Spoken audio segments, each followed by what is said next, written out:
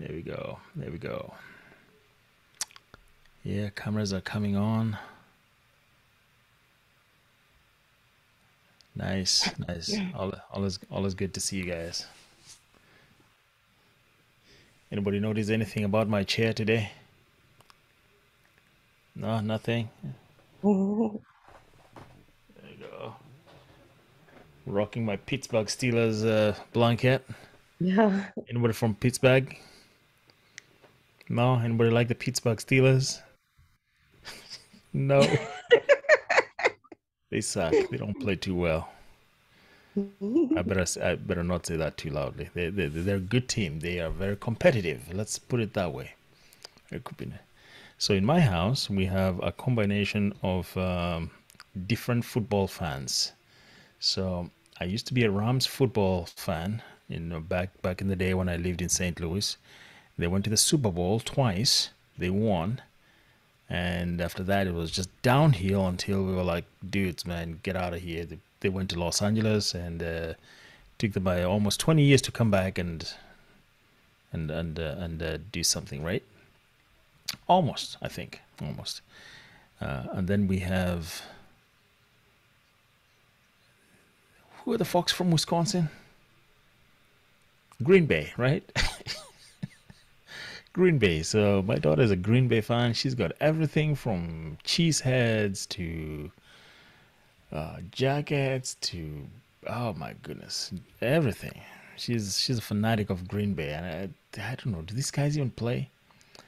Uh, who else? And then, uh, well, I live in Atlanta, so we have Falcons, but eh, you know, uh, those guys don't know how to play football. So we don't have a football team in Atlanta, NFL.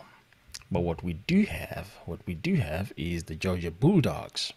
Anybody from Atlanta? Or close by? No one?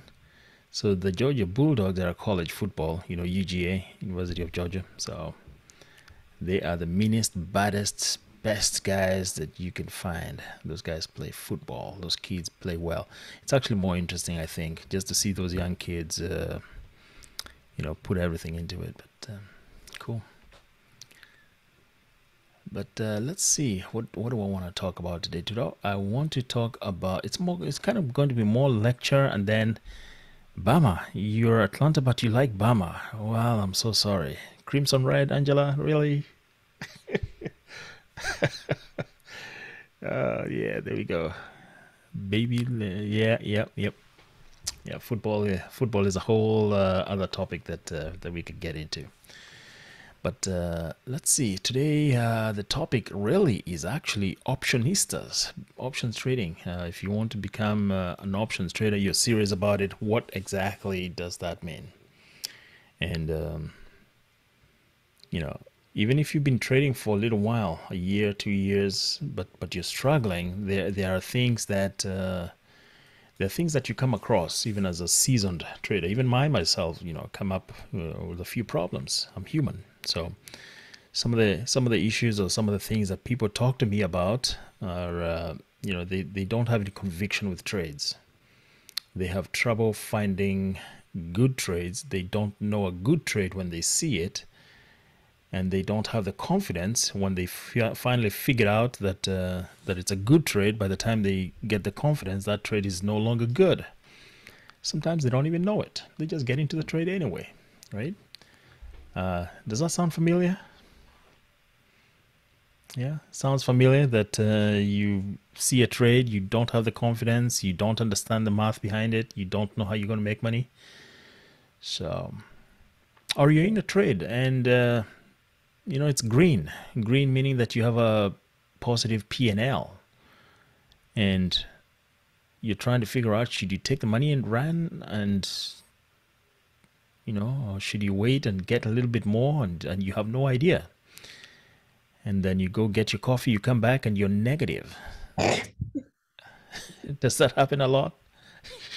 Yeah. Even even I do that, you know. Uh, I'm, I'm in a trade, it's green, I go take a smoke break. I don't even smoke.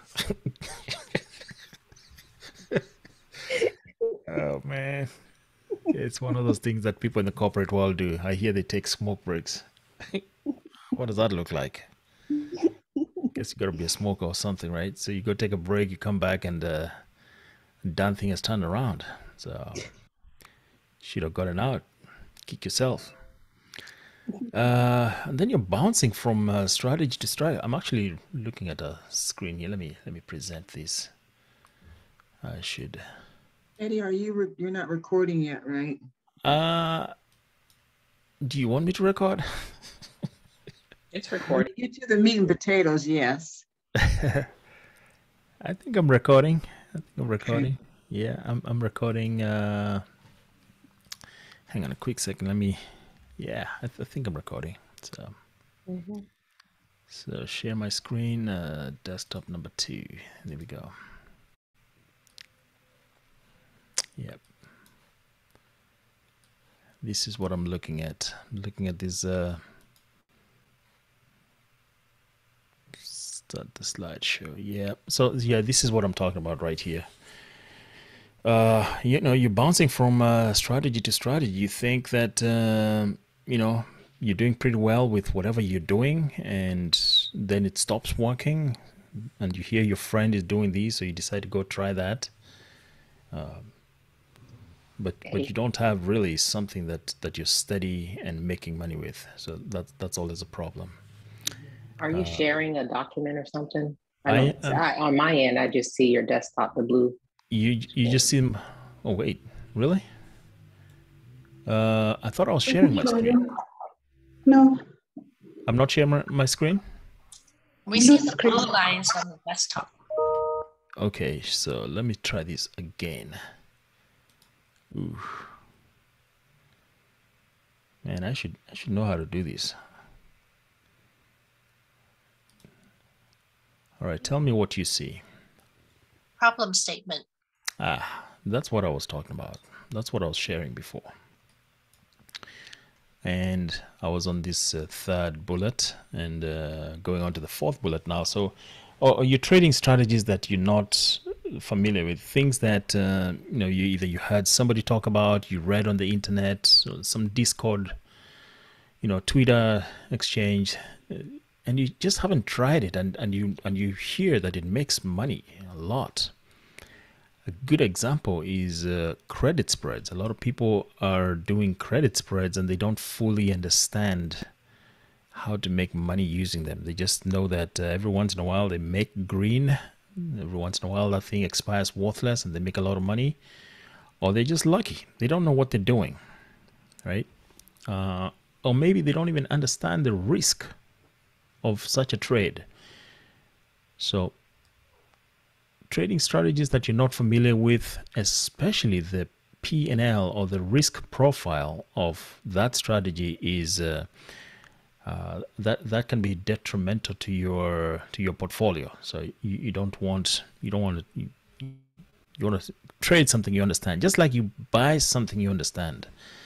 I buy things that I understand. If I if somebody's selling me something uh, and I don't understand it, it's unlikely that I will buy it right? Like many insurance products, you know, some people, and, and this is not, I'm, I'm not really knocking on people who sell insurance, but, you know, insurance is a, it's a fear business, right? It's, it's, it's sold based on fear, you know, making me fear that, you know, things might happen. And so I need to pay somebody to protect that risk. Well, some of them are valid, some of them, you know, it's just baseless fear. But uh, if I don't understand the program, I more, I more than likely will not uh, will not buy it.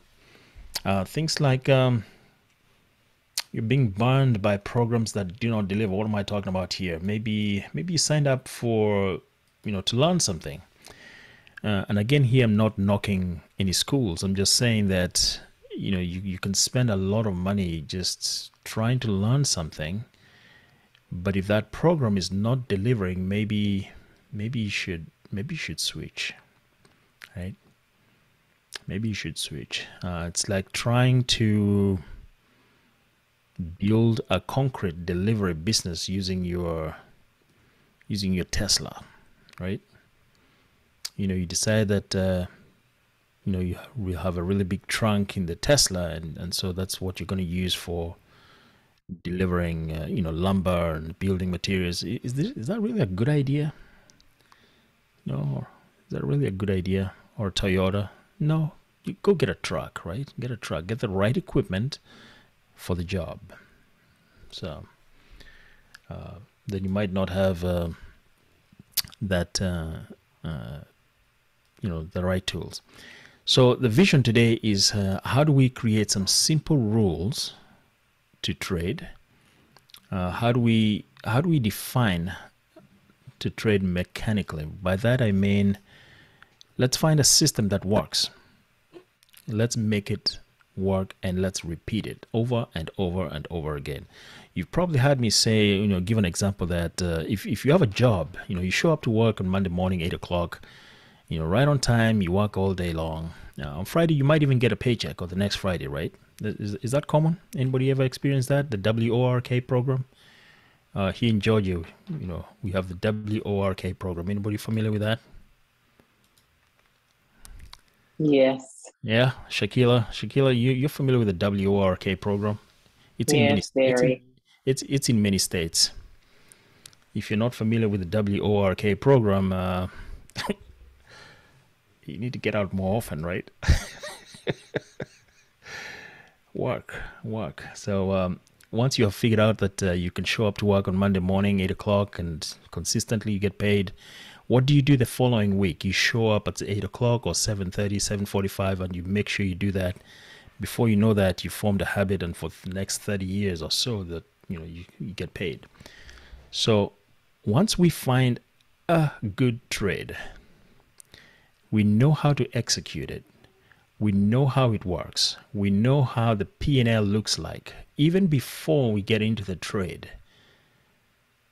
We know it's how it's supposed to work. We know the rules. Here's my profit target. Here's my risk target. If things go, don't go well, here's where I get out. Uh, if things go well, this is how much I'm going to uh, to make, right? And this is what I have to do in order to make that money, right? How do we turn that theory that theory into practice? How do we get into the trade and get out of it? Meaning that you also know your environment. You're not fumbling. When you're seeing that you're up a thousand dollars and you're fumbling, you're trying to call somebody to tell you how to get out of that trade. That really sucks, doesn't it? It means that you entered a business and you have no idea how to make the money. You don't know how to work the cash register. You've got a customer standing in front of you. He's he or she has got a hundred dollar bill and you don't know how to take that hundred dollar bill from them. That's really sad, isn't it? It's bad. You need to know how to take that hundred dollar bill, five hundred dollar bill from your customer and put it into the cash register. That's how you cash in. Right? So in the stock market, how do you cash in? How do you sell that stock? How do you close that position? In life, that is not the place to do it. You need to know how to do this in your sim. Your sim is not going to give you real money, so why are you counting the dollars there anyway? Uh, cool. Uh, staying solvent means that uh, your cash flow is not going down. If you're a business, and, and, by the way, we have to think of this as a business. If you're doing this as a hobby, uh, go search for trading as a hobby. I wonder how many hits. I've never tried that. Trading as a hobby. I should try that. Maybe I should. But yeah, this you, you don't you don't want to do this. You're playing with real money, so no, don't don't try it. You know, treat it as business. It, it's serious things.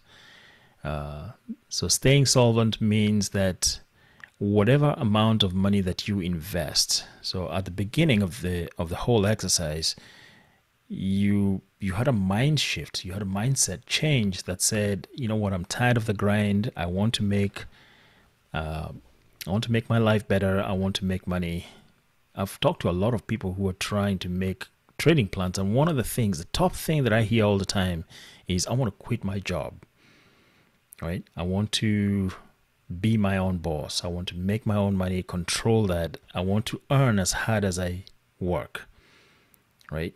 Not the other way around. So when you're when you're in the work program, you're, you're employed. Sometimes or rather many times you don't get paid any more than what you earn every week whether you work twice as hard in the same 40 hours.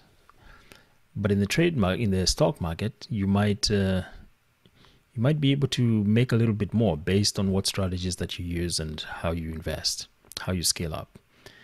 So that's all called uh, staying solvent. When you trade, uh, a lot of us do swing trades, and uh, you know another set of us do day trades. But you want to reduce the amount of time that you're in that trade right so let's talk about that uh, you want to reduce the amount of time if it's a swing trade you don't want to be in a trade the full 45 days so we highly recommend that you, when you buy options when you trade options and you're long on options that you're going 45 to 90 days remember that that time is really so that you can you have time or the trade has time, the position has time to be in the right spot, gain the right gains, uh, do its thing. And you have 45 days to make a correction if you need to. It doesn't mean you have to be in that trade for 45 days. You don't have to make your whole retirement, you know, in that one trade. Take the profits when you can, not when you have to. Right? Take them when you can, not when you have to, which means that you have to have clear, consistent goals that, you know, if, if you're making um, if you're making a you know 100 bucks or 500 bucks whatever it is once you reach that goal you're out right so you want consistent gains uh, that one's a no-brainer it's a no-brainer so every every week you're trying to make something or every month whatever right does that sound good? And um, and then you want to minimize losses. That means that you have a risk management plan. That's what that assumes. And the answer should be yes, I have a risk management plan. If you don't, we need to talk. And let's figure out how do you protect those gains that you're making. Uh, this all has to be part of your vision because there's no sense in making all this money and then losing it in a couple days. It doesn't make sense. It's a lot of hard work. It's a lot of patience, a lot of sweat dare I say, a lot of blood. So we need we need a plan that that helps you out. Cool. Uh, pace yourself, meaning that uh, you know in a marathon, um, you know you don't sprint like it's 100 meters. You you start off slowly, you pace yourself, and you're more than likely to uh, to, to, to to get it you know to get far. So so how do you qualify? How do you how do you um, uh, how do how do you get this? Uh, wrong screen. Am I, am I sharing the right screen? Oh, that, that, that must have been an old message, maybe. All right. Okay. So, uh, you, you, you need to, you need to be qualified. This is not for everybody, by the way. Trading is not for everybody. So, let me tell you what I think that an options trader or any trader needs to be. How do you, how do you qualify them? and it starts with you. You're the main ingredient of of this uh, trading of this business. You're the you're the main ingredient. You are the principal. So you have to have a curious mind. You have to be able to discover. You have to be open to change new ways of thinking. These are things that you will see in almost any other job description and options trader also has a job description and these are some of the soft skills that you need if you don't have them, go find them, learn them, work on them. And uh, number three is especially very, very important to be a solution creator, not just a seeker, right? I'm talking about this one over here, right? Be a solution creator, not a. What what, what exactly does that mean? You, you're not. You, you don't need to be the one always asking questions. How do I do this? How do I do that? what does it take for you to discover how to do that on your own? How do you train your mind to create solutions? Uh, to read a chart and see, oh, I, I, see an opportunity there, right? So those are those are things that that can help you. Uh, a pet peeve of mine is to be able to read. A lot of you are claiming that you know how to read. I beg to differ, right? I beg to differ. Some of you are just, uh, I don't know what you're doing. I'm curious. I, I really don't know. But being able to read is important. Being able to read means that you can comprehend instructions. You can interpret in, interpret instructions. You can see what the system is telling you. Take the extra five seconds to read the whole thing. Or if you're reading a strategy, understand what that strategy is doing. Or if you're reading a you know some education material, be able to see that and uh, spend some time understanding it. So you don't have to have a college degree. You know, college degree is probably a plus. I think college degrees really just show that you're able to read and learn. Uh, but beyond that, they they probably don't teach you much else other than uh, the ability to quickly quick up pick up uh, concepts. So in this environment, you have to be able to read and interpret not just instructions, but also the data that you're getting, because there's a lot of data in the financial world. There's a lot of data. There's there's stock charts, there's news, there's indicators, there's um, you know all sorts of things. Especially in your platform, if you're using uh, any advanced platform today, Thinkorswim, TradeStation, Webull, even Robinhood, all of these things, you just have to be able to know them. Don't let that environment be a, a roadblock. Uh, I think I'm just going to skip over to the last one. If you're going to give up before you finish, uh, exit quickly. What does that mean? It means don't waste other people's time, right? If you're going to call someone and say, you know, cry that, you know, I'm suffering and I don't know what to do, I'm just going to give up. My answer is just give up. Get out of my face. It's cold. It's not a nice thing to say. But you need to make up your mind and decide you're going to finish the game, the race, you're going to learn, you're going to reset, and that way you can start getting help. But if your mindset is still old, in the sense that you, this is too difficult, then it's really hard to help. So I would suggest that uh, you know we work on ourselves a lot, and it's a continuous exercise. Because if you're here, you're probably already made up your mind. This is going to be good, so that's good. But if you haven't yet dealt with that part of your life that needs to finish the game, maybe maybe you should still continue thinking about that.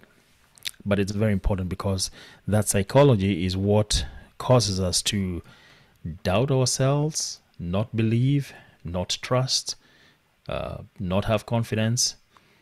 The opposite is that you are a risk taker. You are able to learn quickly. You can adopt. You can change. You can pivot. You can you can take a risk.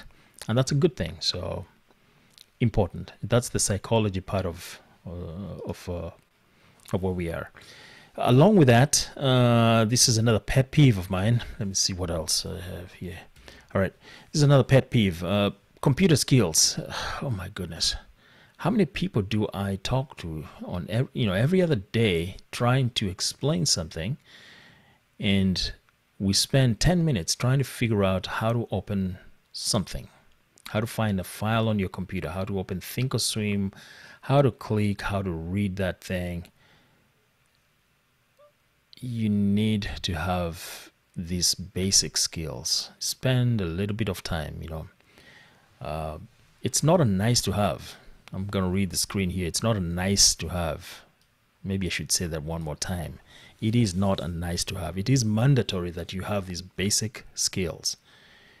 You're going to spend, this is what you do every day. So, no, I wish I knew how to find apps and files. No, you can't wish that. Um, so, allow me to rant on this one and say that you need to go figure out on your own how to use your computer. Right? I have zero patience for people who don't know how to share desktop. Yeah. So, all right, enough said on that. Uh, figure out how to use your computer, how to read your email or search your email, where to find audio. So this is probably the worst slide. yeah, this is probably the worst slide. Uh, but anyhow, figure that out. Uh, and then other things that you have uh, you know surprisingly a lot of you don't have a calculator you need a calculator if you don't have anything else you need at least a calculator right if you don't have a calculator you need a good way to did i spell that right calculator yes Uh, yeah, if you don't have everything else, uh, at least you know. I think Walmart sells calculators for like five bucks, ten bucks. Yeah, let me show you my calculator. Can anyone see my calculator? yeah, five bucks at uh, five bucks at Walmart, or seven bucks. With inflation, it's maybe now eight dollars. Yeah, so instead of your Starbucks, go you know get a calculator. Works real well. Ah, now the fun part. So now that we've gone through all of that, we need some solutions, right? We need to that that was the that was a doom and gloom. Now they now the uh, you know fixing all the all of these. Um, so let's let's let's fix this. Let's fix this. Um, we want to evaluate your portfolio. So most of you already have some money inside of a brokerage account. The platform doesn't matter because the the fundamentals are the same, and we'll talk about the fundamentals here shortly. But but do you have the right kind of watch list, right? Uh, if all your stocks, if all the stocks in your watch list are in the same sector, that's a problem, right? That's a problem because the market these days, actually for a long time, goes up and down based on sector. The tech sector is doing one thing, the health sector is doing another thing, the energy sector right now is booming, right? Uh, what other sectors are there? You know, retail, consumer, these and that. So there's about 11 sectors that that we track. Um, so don't have all your eggs in one basket, is what I'm saying. So you want to diversify by building a great watch list. You can see some of those uh, things that I'm saying here in that example. Just look at that. You know, stocks that move, you know, at least five on average, right? ATR. If you don't know what ATR is, uh, you know, that's the average true range. I think all of you know what ATR is, uh, but there's a lot of uh, acronyms used in the industry, and you should also know those those acronyms and what they mean. Let's see some other things. Uh, maybe you've had a portfolio for a very long time and this is the time that you now you know coming to realization that you need something to change so maybe maybe you have some non-performing positions that you've held for a very very long time uh, a long time is relative right it could be a year it could be two years it could be two months whatever six months right? But I consider what what what I consider as non-performing positions are those positions that that are not giving you what your profit target is. So let's take an example. You buy one stock of XYZ for $100 and you hold it forever. Forever could be one year. And that stock has only risen to $150 at the end of that one year. But during that one year, the stock gained value to $200, $250, then it lost value to $90 and now it's coming back it's now at 150. is that a performing position that's not a performing position because you didn't take profit when you should have you did not reinvest you can't really say you made money on that the opportunity cost was far greater and the opportunity cost on that was you were unable to invest that $100 properly, right?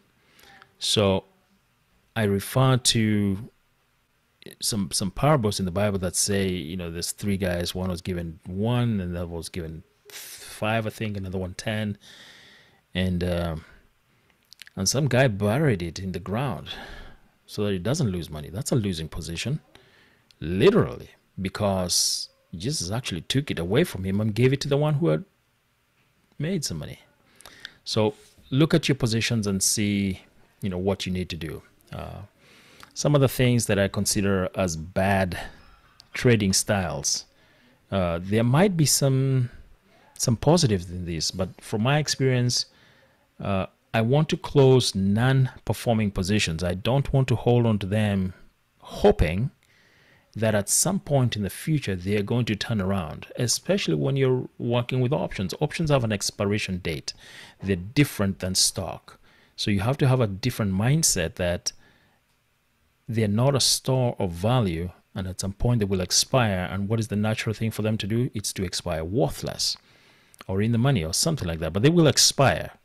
It's like uh, it's like keeping a tomato in your fridge for two months. It, uh, things gonna go bad.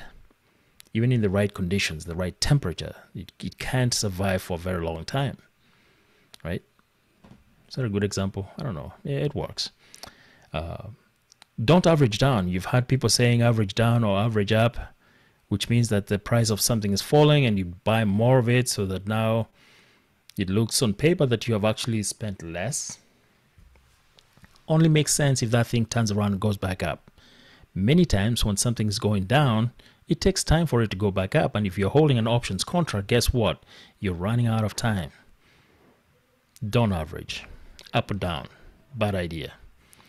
Uh, same thing with rolling bad positions. There are some strategies that you can roll and maybe get out. The only time that I would roll is to reduce my max loss.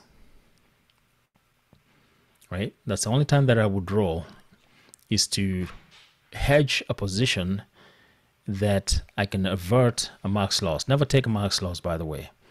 That should that that should be on this slide. Let's add that. All right.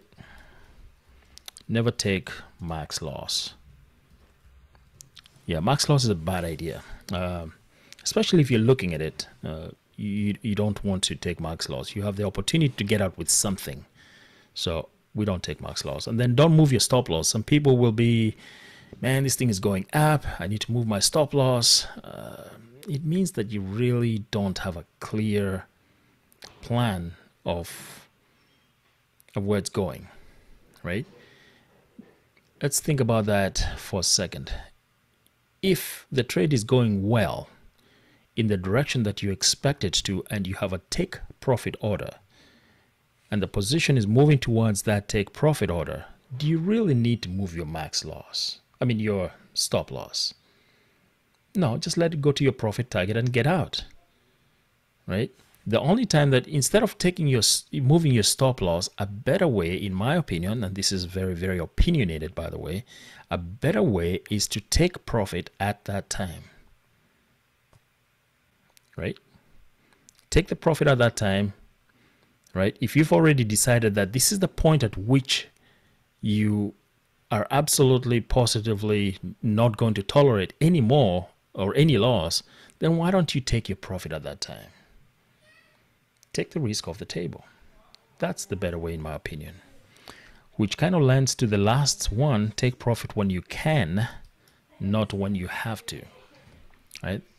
Any any explanations on that one? I don't think so. So maybe you have a portfolio and um, you don't know what to do with your money. That sounds like most of us, right? Uh, here's an example. You can do whatever you want, but here's a basic example. Uh, say you have a $5,000 account. I always recommend that you have a 20% cash position. Right? 20% cash position means $1,000 of that is going to be in cash. Uh, there are many reasons why that could be in cash, and uh, I talk about that in my class about how to how to protect that cash position and what to do with it. Uh, then divide your the, the rest of the money into three or four buckets right? Three or four buckets meaning that you will be able to trade three or four stocks. And you can see here it's almost evenly divided. Uh, you know 1250 a piece on each stock and the last one is only $250 can you find options trades that you can trade with $250 uh, yes a lot plenty right? Plenty of stocks uh, where you can trade a position for $250. So, and uh, this is enough to give you at least you know a healthy amount every week.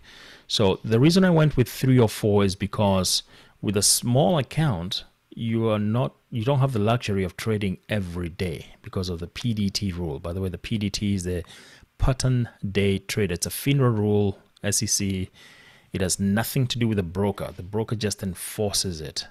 Right? They don't make up the rule. The rule has already been made, and the, it's up to the broker to enforce it. If you don't have 25k in your account, uh, margin account, then you can only trade well, how many days? What uh, three in a you can open and close uh, three trades in a five day rolling period. If you want, you can use uh, all three trades in one day, in one hour, and then just wait five days. You'll be good, right? Or you can spread it out, one trade every every couple days, no more than three in a five business day uh, rolling cycle. So keyword there is business day. So Saturdays, Sundays do not count, holidays do not count. It has to be a trading day. That's what's considered a business day. Uh, we're almost done here. So uh, define your weekly pro- uh, profit target. I don't know whether anybody has uh, has this or is willing to share. You can share in the chat if you like, but uh, I go with a very small weekly profit target, and then I figure out what kind of strategy I can I can use for that. By the way, can everybody see my slide okay, or do I need to make this a little bigger? Maybe I maybe I should maybe I should make it a little bigger. There we go. Uh, I'm not going to read these for you guys. You can read it, uh, but I want to show some examples. Some examples. Uh, you know, use use some of the simplest uh, strategies that we know, which are calls and puts. That's the basic. That's where we all start. Just because they're the simplest does not mean that they are the safest. In fact, on the spectrum of risk, calls and puts are very, very risky right? There are safer strategies to use with calls and puts in spreads, not credit spreads, by the way, but calls and puts form the foundation of all options trading. So, but they are the simplest. That's where we all start. So we need to figure out uh, how to uh, how to use those. Uh, define what your minimum profit target is. Uh, what your minimum profit target is. Let me explain that that's I'm not talking about what the minimum profit for a trade that you're looking at. I'm talking about what you have defined in your trading plan that this is how much I want to make at a minimum every trade. Does that make sense? Maybe let's give an example. An example is I want to make $300. I want to make $500 on every trade. And I want to make three trades every week. So if my minimum trade per uh, minimum profit target per trade is $500, right? And I want to make three trades per week. That's what 500 times. That's $1,500, right? So I need to go find. I need to go learn and know how to find a trade that makes me $500. So once I have defined what my minimum is, does that mean that I will accept let's let's let's go with 500 I decide that I want a trade that gives me at least $500 does that mean that if I see a great trade that gives me $100 I should take it somebody say yes or no what, what what's what what would you do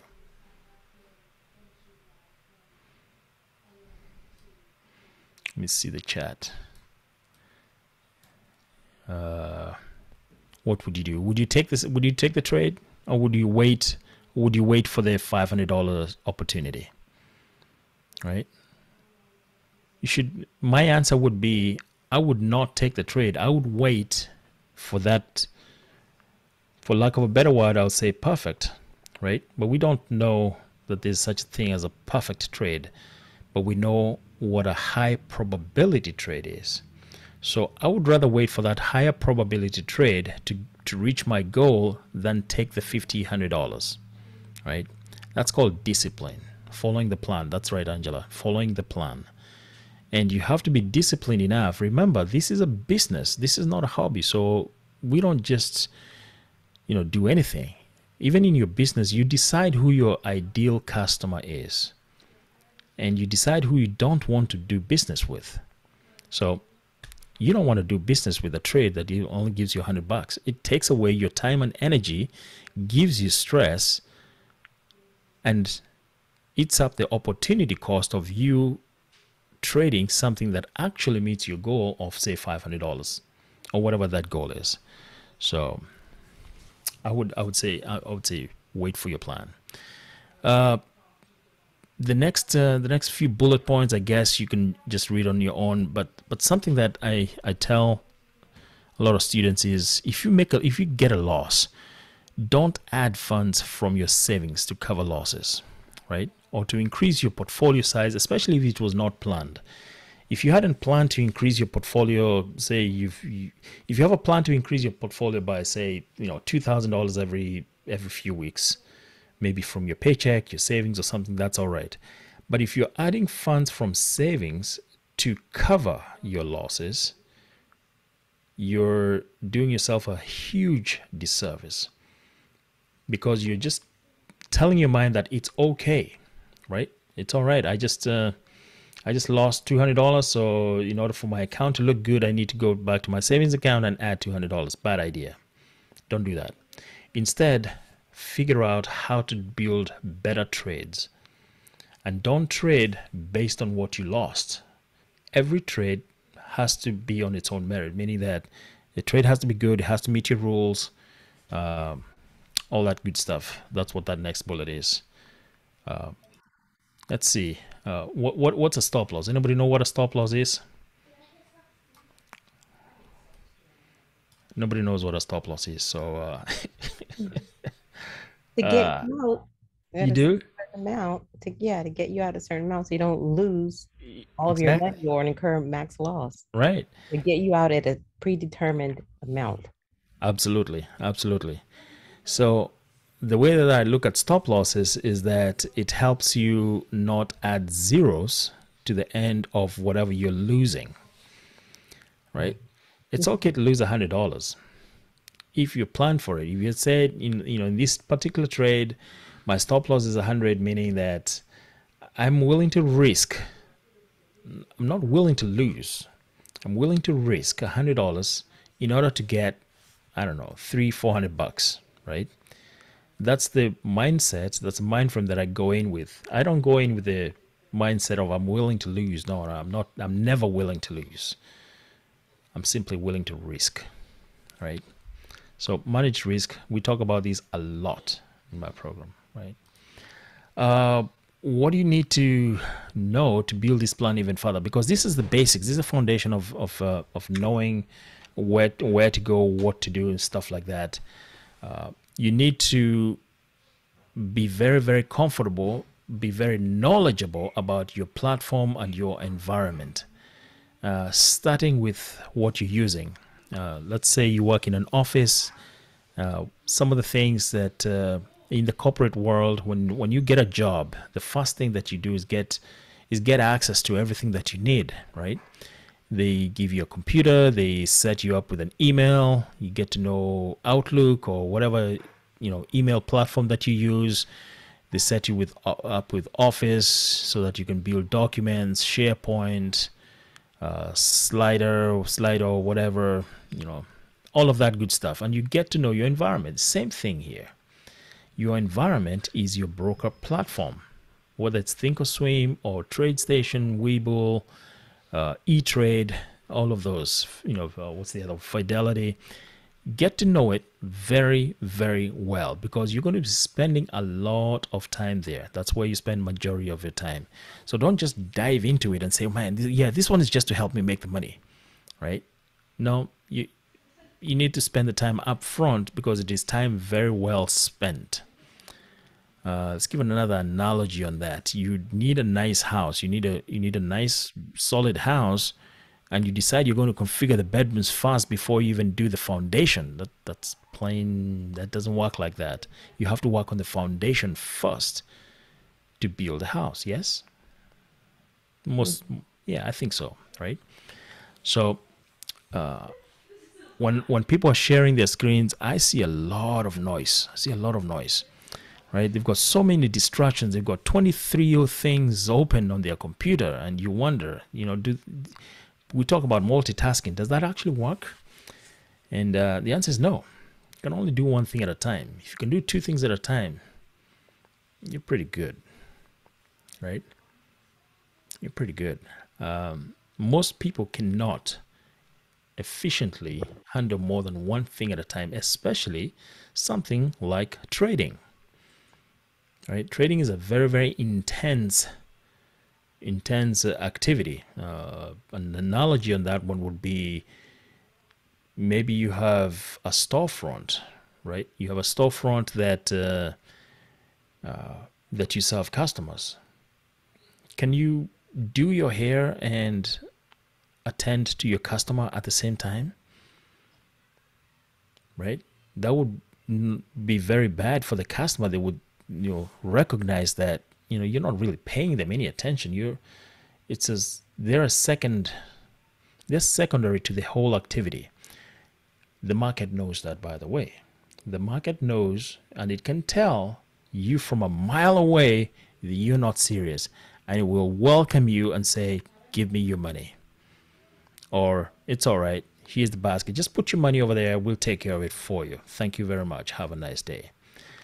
Can't do that.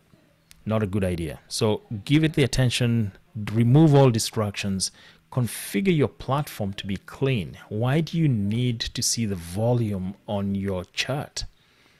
How many people make decisions based on the volume? Right? Why do you have it in there? Right? You've got volumes, you've got 23 lines on that chart. Dude, get a handle on it. Right? Just just get what you need. Look at what you need. Remove all the distractions. Right? Uh, I don't know that you can even make a simple decision with all that data. That's just to confuse you. Here's uh, here's uh, something that uh, to think about. Uh, when when you have a really complicated plan or a really complicated mission, you look for the simplest solution to the problem.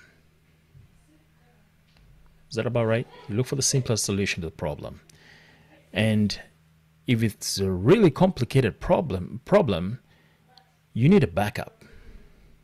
You need a backup to that simple solution. Here's my take on it the backup needs to be simpler than the plan.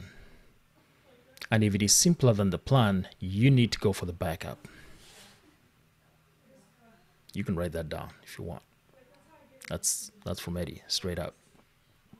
Go for the simplest plan, uh, and if there's a simpler plan to that, that's what you need to go for, right? Uh, Oh, by the way, if you want uh, my free public workspace and uh, customize it to make your own, I am willing to give it uh, out. I probably should. Uh, I will post it down here in the description down here. Lynn, did you see that? Um, I saw that a long time ago. Uh, no, no, no, no, no. Me, me, me saying that you'll find this thing in the description down here. Oh, oh yeah. Uh-huh, because it's gonna be on like YouTube stuff like that. I, I had to slide a joke in for the day, you know. come on, walk with me, walk with me here. Come on, guys, come on.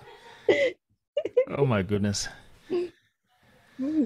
Oh, let's see. Uh, and like I still didn't get it, but yeah, yeah, it sounded yeah. funny. Yeah, it's in the description. All right, what do you need to know to build this thing even further? Some fundamentals. Um, and this is what we teach. Well, this is what I teach. So, how options trading works in simple terms, and you need to understand some basics. I listed out what the basics uh, that I consider, which is uh, days to expiration (DTE). Uh, you need to figure out uh, how to pick up the right, how to pick the right strike price whether you need to go with calls or puts, whether you need to click on the bid or the ask or the delta theta, all of that good stuff. Those are the very basics. Get those out of the way. Don't let them be in the way of you trading. You need to fully understand uh, those basic things. Uh, the relationship between the price and the and the cost of an opt.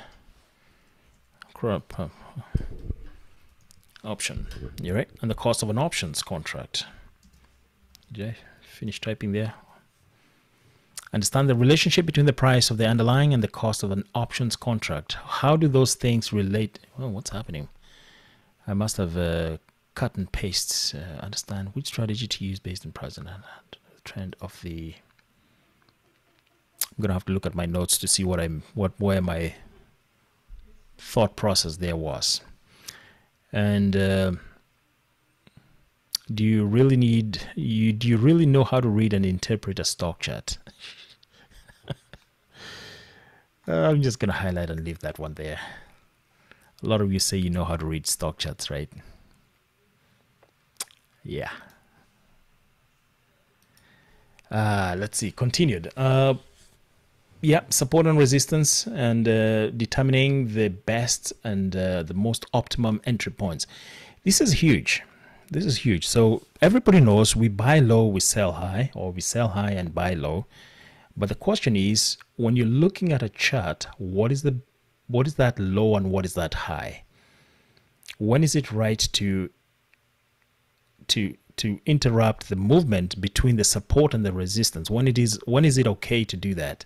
Is it ever okay? Is a question, right? Uh, how do you determine all of those, and then how do you determine what strategy to pick based on what you're looking at? Wonder if I have any more slides. Uh, all of that is so so important. So what I'm talking about today is basic, you know, fundamentals of of of this main problem that we we we said. Uh, and I'm just bringing back that problem statement here again is these are the things that we are trying to solve. And we've now just seen, based on going on through all those slides, that you don't necessarily have to be a new trader. You can be an experienced trader. You can have been trading for two years, but some of these things are, you know, still bothering you. So I'm going to pause there and take questions.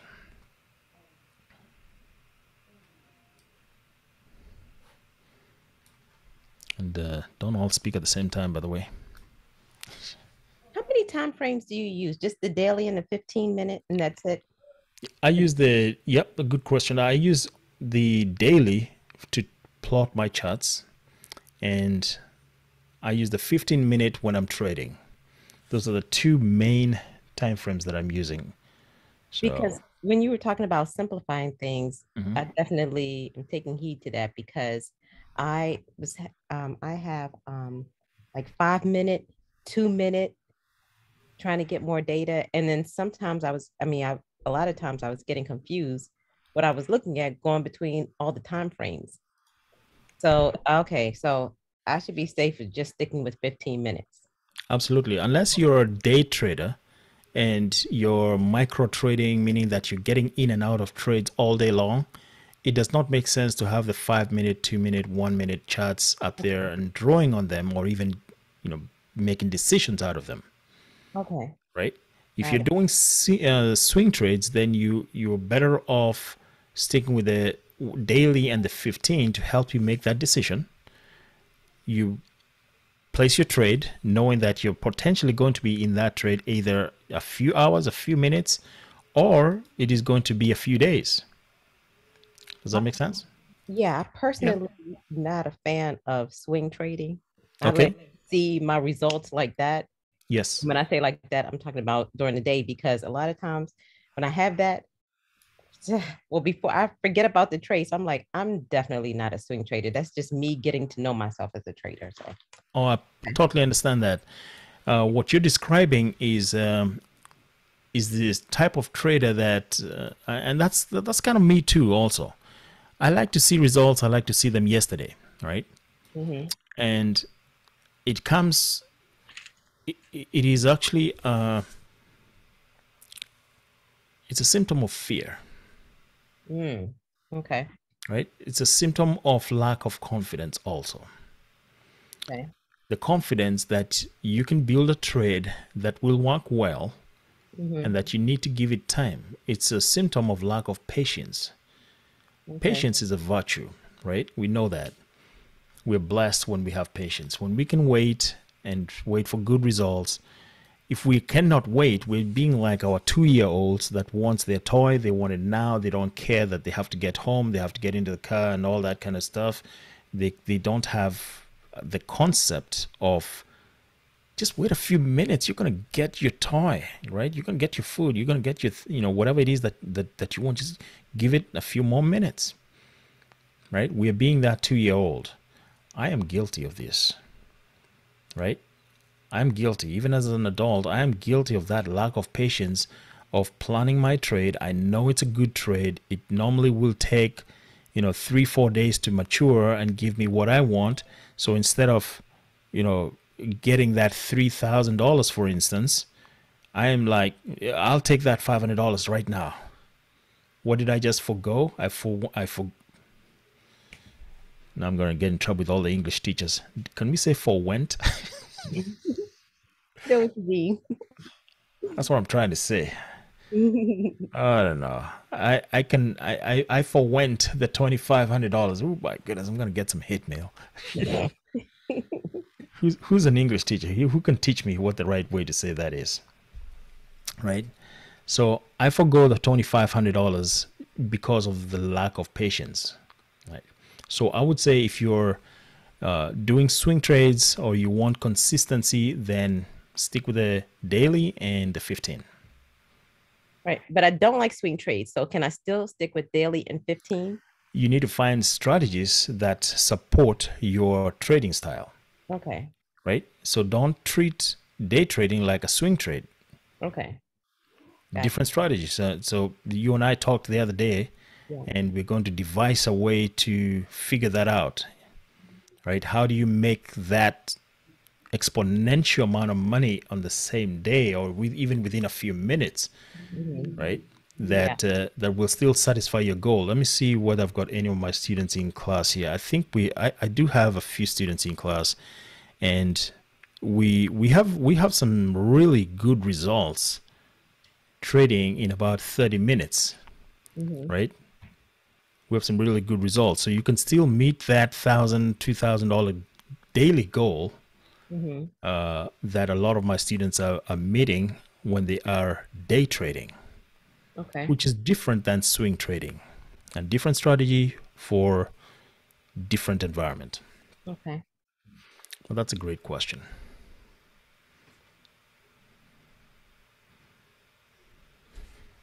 I'm going to revise my trading plan based on this. This is Awesome. Awesome. Cool. Let's see whether we have any other questions here. Hey, I wanted to clarify something. Sure. Um, one of one of the questions you asked is, uh, should you um, get in the trade if it's not, um, say, at support or or at a resistance level? So, um, generally, I'm assuming the answer is no. Mhm. Um, so you usually wait for the right level to get in based on the trade that you're going to take. I um, generally trade SPX Yep. and um, it takes um, time, I guess, for it to, you know, be in one of those two levels. Are you um, going down to the 15 minute uh, to determine those levels also on the 15 minute to do like daily trades? Yes. So, so when I'm day trading, uh, I'm almost micro, I'm, I'm almost micro charting, but I still depend on that 15 minute to help me stay in the trade as long as possible. Right. Now, earlier on, I said don't stay too long in a trade, but but this is actually a good thing when you're day trading to be in the trade to meet your objective. If you have a good sense of the direction and you have a good sense the chart is telling you where the price action is likely to go. So i will usually be evaluating um, let, me, let me see if i can bring up here the uh, 15 minute. So i'm looking at the daily on uh, on the spx and i'm going to go to the 15 minute. Let's let's look at this uh, yesterday what happened. Uh, this is a good example here. Um, we were reporting a really strong open yesterday. I believe it was almost uh, 50 points in the open uh, but shortly after actually even before the 15 minutes were over we started pulling back. So the question is if my thesis was that this was going to be a green day and we start seeing that we are losing half the value here, is this still a good trade? Right? Is this still a good trade? So my stop loss should have kicked me out over here. Right?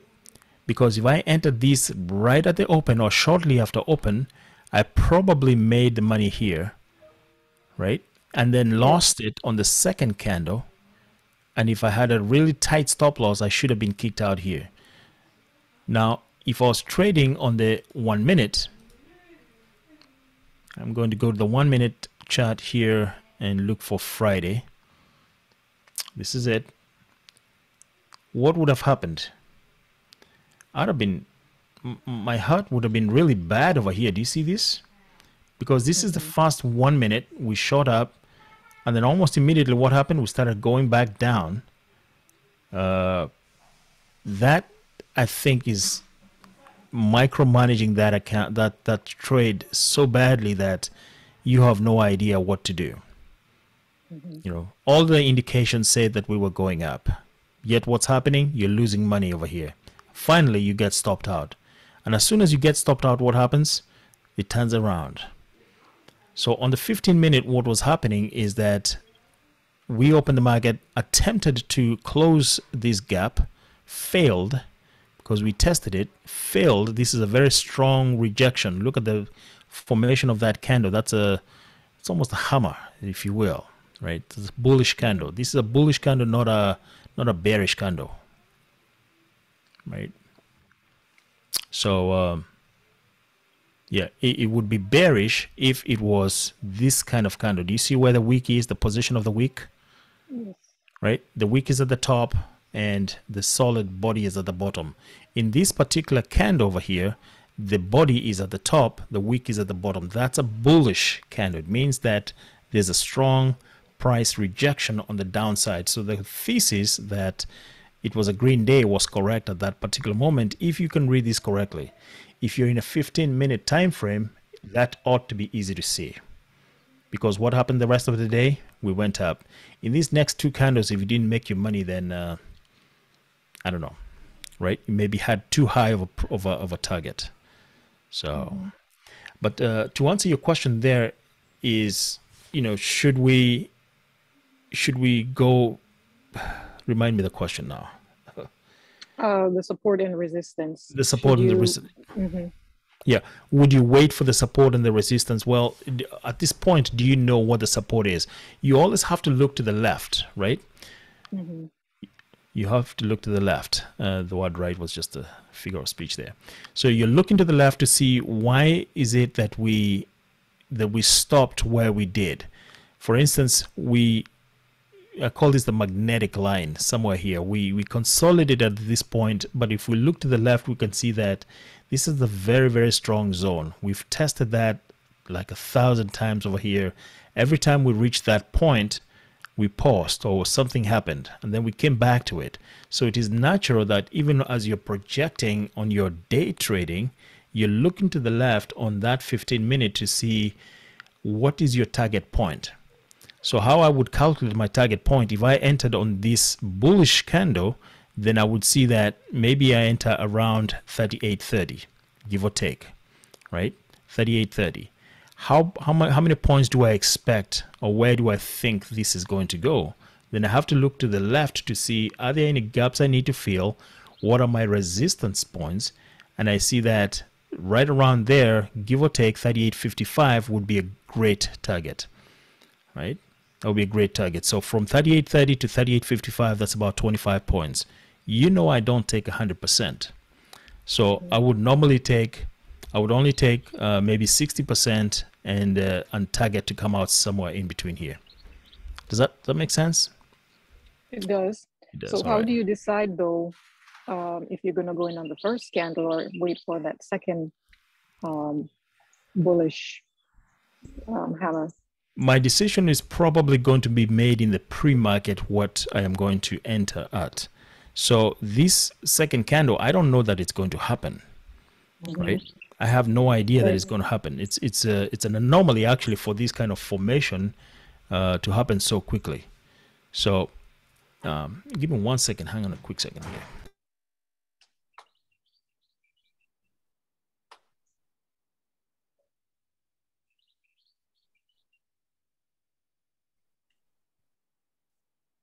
All right, I'm back. So uh, yeah, the decision would uh, normally be made. Uh, at least for me, I would make the decision usually before the market opens. I will usually have defined what strike I am going to choose. If you've been in my power morning, you've seen the way that I make decisions uh, and projections on where I think the market is going to open, what direction, how many points I think I'm going to target based on the data. It's not subjective, it has to be data based. And based on that, that is how I build my uh, that is how I build my um, um, my thesis and my my trading plan. So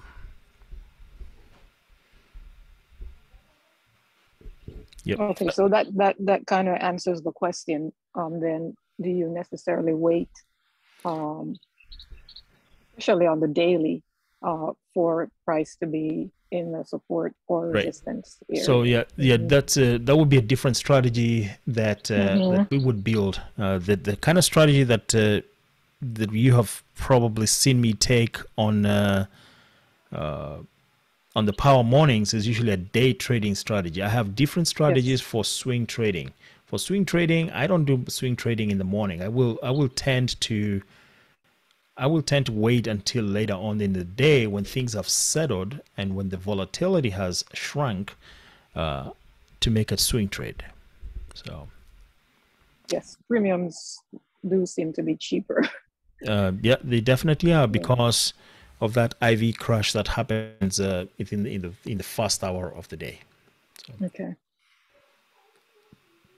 Cool, great question on that.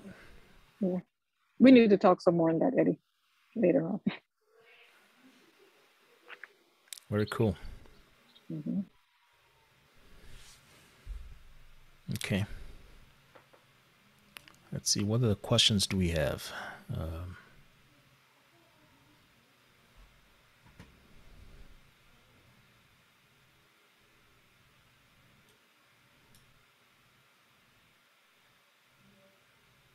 all right.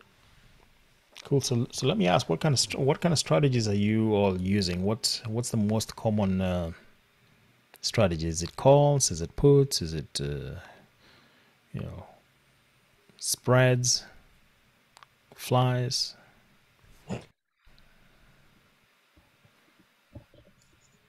Hey. Eddie, Yes. this is Aaron. How you doing? Hey, I'm doing well, man. How you doing? Good. I'm good. I have a question. Yep.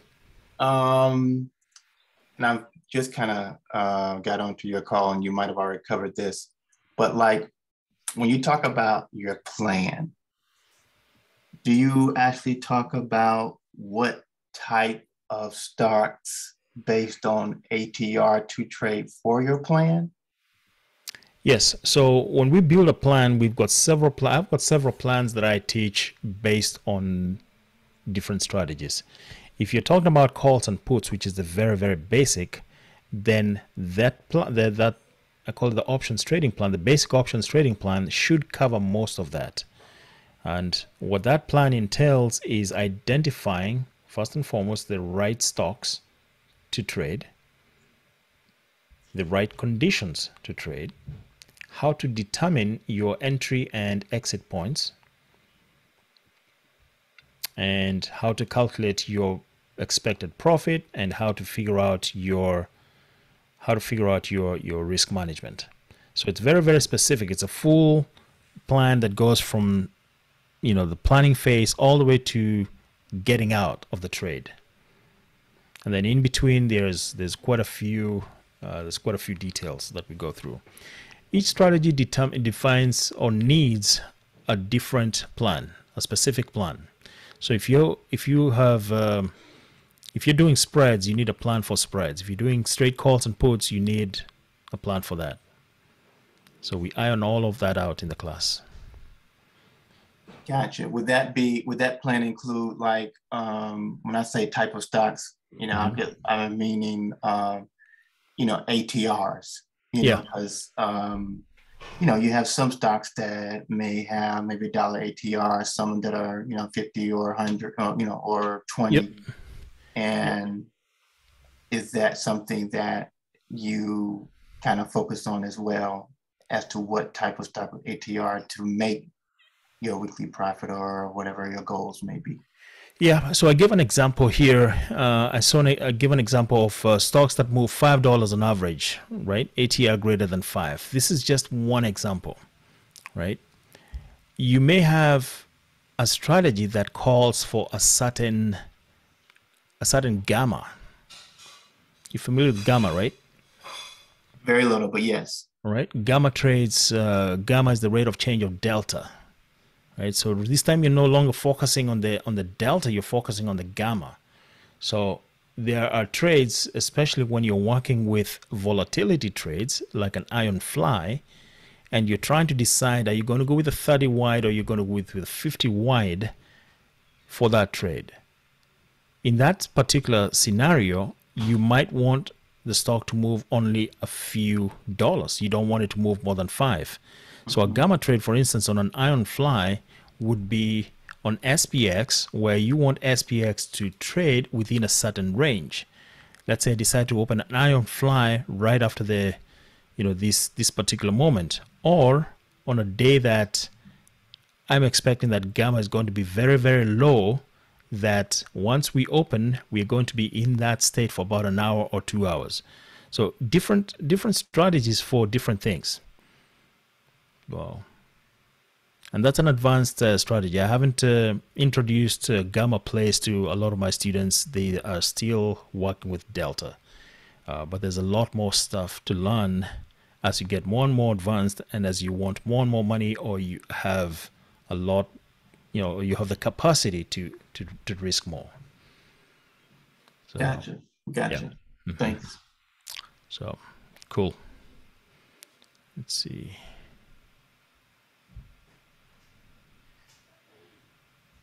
Uh, let me answer this message here. Yes. Yes. Okay. Uh, I was answering a question over there in the chat. So cool. Yeah, that's uh, what. What are you? Are you still trading uh, SPX, uh, Aaron? Last last uh, we talked, I think you were trading SPX. Yeah, I do uh, verticals on it. Um, okay that's about all I do. I can't. Uh, my pockets ain't big enough to do to, to do uh, a couple day trades on that thing. But verticals is fine with me on that. So that's kind of yeah. where I am on that one. It is a breadwinner for a lot of people. So it, and I think it's great. Uh, I've been trading.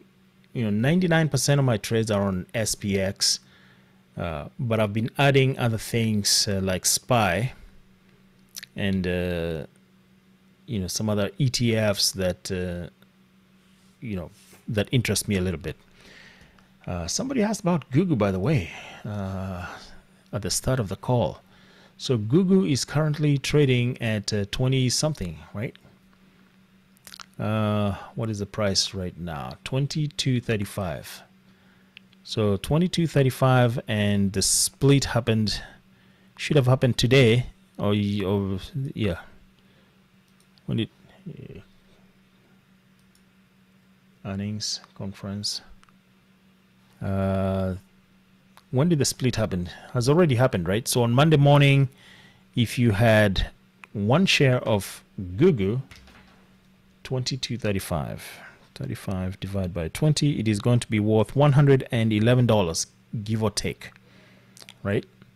About $111 that is not a it's not diluting your the value of what you're holding you're just spreading it out. You just have 20 stocks now or 20 shares uh, if you had just one. Is that a benefit to you? I'm not sure. Uh, the only benefit that i see is if you had uh, if you had five shares of Google, that might make a difference right it might make a difference why would it make a difference because then you can do covered calls because if you had five now you have 100 shares which is the minimum that you need to make a covered call. That's the only benefit I see.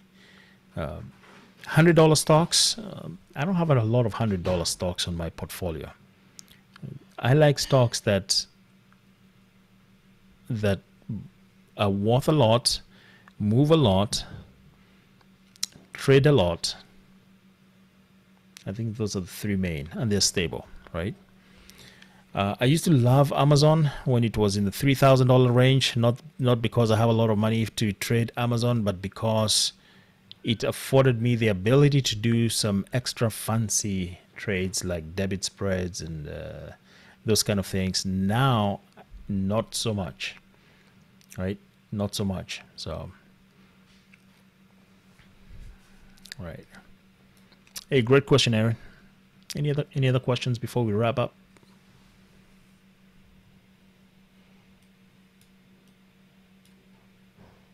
No, no more questions. Oh, I have a question. Sure. Is your power morning open to everyone or just your students? Uh, just my students. Yeah. It is a benefit of uh, being an alumni of Options with Eddie. You get a lot of uh, perks with uh, with those power mornings and uh, extra material, extra library, uh, one-on-ones at no no additional cost. Um, yeah. So yeah, you get a lot of uh, benefits uh, with that. Do we have payment plans? Unfortunately, not. So maybe in the future we will have a payment plan, but at the moment, not. So that's a question on the chat, by the way. So cool. When's the next class? It's going to be in a, in a couple weeks. It's going to be a Wednesday class. Uh, there's a lot of interest for the day Wednesday, so it's going to be a Wednesday. And there's a class that is in progress, a couple classes in progress right now. Uh, maximum class size is 10. Uh, so if it's full, you have to wait for the next one. Cool. All right, guys. Uh, let me let me add my email here.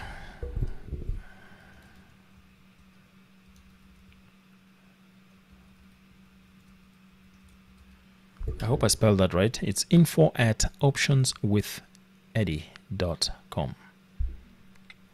And if you want to go to the website, it's optionswitheddie.com. Cool. If there Hey, are, Eddie, yes, I have one more question. Sorry. that's okay. Can you show us how, like, say, for example, I want to do an order in Thinkorswim and I want to open a trade. And then I want to do, after trade is, you know, I purchased the open trade where I want to enter, I want to do a um, target and a stop. But I want to save those as templates. Can you show how to do that? Would that be like a straight call or a straight put, something like that? Yeah, yeah, straight Okay. call. All right. All right. Give me a symbol to work with. Um, let's try Apple. Apple. Yeah. Okay. So Apple right now is uh, approaching approaching resistance. Uh, do you want to do a put maybe? Yeah, let's do do a want put. to, or That'd do you want to do a, a call? You want to do a put? Yeah. Okay. So here are the rules for uh, put. When we are selecting uh, the t- the strike price, we need the price, or rather, the strike needs to be greater than the current price. Yep. hmm So we'll go to the options chain. First, we'll determine what the expiration date is going to be. And based on the rules, uh, 45 to 90 days. So uh, four days between friends. What do you think, Aaron? Um, that should be fine. Four days between friends. I think between friends, it's okay, right? yes. right. So we're going to pick August 26 uh, as the date to expiration. That's the first thing that we did. And then we've determined that the strategy is going to be a put, meaning that we're going to take advantage of prices going down. So when prices are going down, we do a put. The current price is 150, so the strike we pick must be greater than 150. Yeah? Yep. All right. So 155. What do you think? That works. I'm thinking 155. So we're going to pick 155. It's going to cost us $9.50 in premium. I'm looking at the ask column. Uh, that just means that we're going to pay $950. That's how much we need in our account. That makes it a great trade. So before we go even further, let's look and see where do we think this is going to go to. If price were, of Apple were to go down, where do we think it would go to? Uh, I think it would go down to like 146 146. Why 146? because there's uh, support there. All right. I'm thinking the support is over here at 142. Gotcha. Why do you think 146? Um, I'm, I, I wanted to say buy zone, so I would mark that as the t- distal and mark the proximal at one, right around 146 area. Yeah. Okay. Yeah. So anywhere in that in that range, that's where that stock would should go. I hear you. I hear you. So, uh, yeah, proximal distal uh, is a concept that Right. probably works. Probably works. I go more with uh, support and resistance. So I think the resistance is at 142. And uh, given that the price is at 150 right now, I'm trying to evaluate whether this is a good trade. Right? Uh, my definition of a good trade, I'll give you some tips. I think it needs to move at, it has to be, have a potential of at least $10 Okay. right? And then I will take about 60% of that. So, do I have $10 between where I am and where I think we're going? Uh, not quite. No. So, let's look for something else. Okay. Um, that means that we have to do something like, like for example, on your list, we can look at um, Tesla, even though that's Tesla? kind of a All right, let's- volatile animal. But let's look that's- let's look let's look at Tesla, all right? So, Tesla is uh, currently at uh, let me first clear my screen here. So, Tesla is at 720. Do we think this is going up or down or where do we what, what's the thesis? Um, thesis on this, oh, it's so unpredictable, but um, looking like it is about to approach um, the resistance area somewhere around a little above 720 to 750 range. Okay, so you think it's going to go up? Mm-hmm. Okay. All right. So that's uh, that's one thought process. So do you see anything of interest down here? Yeah, I do see um, earnings. That means up. that we don't have a clear indication. And knowing what we know about Tesla, what happened the last time that we had earnings? Um, they typically drop. Okay. So to validate that, we're looking at earnings here. They dropped. They dropped. What do we think is going to happen now? It will drop again. They drop. Okay. So is 750 still a good idea? No. Okay. What is the next idea? next idea, uh, if we are saying in our thesis that they're going to drop, we Mhm. should probably look at um, right around the range of maybe one, maybe six fifty to maybe the six twenty five range. Okay, so if current price is 720, then I think the next support level, do you think 675 is the next one? Um, yeah, Yeah, price price came down here unchanged. And uh, and so that tells me that that's a point of interest. We've mhm, also tested that area. So to be conservative, then we can uh, consider that as our next support level, right? okay, And if we break, that's a good thing. If we do our calculations based on 675, I think that would be a fair deal. So the question now is between 720 and 620 and 675, do we have at least $10? uh, Simple math, yes. yes, Yep. So we don't normally go for the full 100%. Best case scenario is that we're going to buy a put at uh, when the price is at 720 and it is going to drop straight up to 675. That's the best case scenario. Mhm. Right? But because we are not going to go for best case scenario, we're going to see the difference between 675 and 720 is uh, about $45, right? hmm Uh, let's go for about 60%. What do you think? Would that be cool? yes, that should be cool. All right. So 45 times 60% will give us $27. If we target $27, what do you think? What do you think about that? Is that a good move? Yeah, a good move. I think it's a good move. Uh, the ATR, based on my watch list, is about 36. So the probability of moving $27 is actually pretty high within a day or two. Yes. All right, let's go with 20 with $27, right? I am going to go to my options chain. I'm going to, I guess I'll I'll stay with uh, August 26. I'm going to spend a lot of money on this one, right? So my price is 720. I need a strike, the very first one that is above 720. What do you think? We can either go with 720 itself, or we can go with 725. Um, we could do seven twenty. 720 is fine because it's about uh, 20 cents off. Not a big deal. So $6,385. Aaron, you probably have 10 times of that in your account, right? Walk with me here, Aaron. The answer is yes. Yes. Yes. All right. So so six thousand three hundred eighty-five dollars is how much uh, you have available for this trade, and and so we want to make uh, a trade. So what's what's the usual thing to do to when you're trading? You simply click on this guy, right? Mm-hmm. And it gives you that single buy one. We're going to spend 6385 but we want to create a bracket order. This is this was your question. How do we create a template on this one right? Yes. how, how do we create a bracket order on that? Uh, so there's it's it there's, there's two ways to do it. Let's let's try one at a time. I'm first going to change this from advanced single order and I'm going to change this into a fast triggers OCO. One cancels the other, or order cancels order. Right? Yep. All right. And then I am going to right click anywhere on this green line and I'm going to create another order. The question is should be should it be a duplicate or should it be the opposite order? What do you think?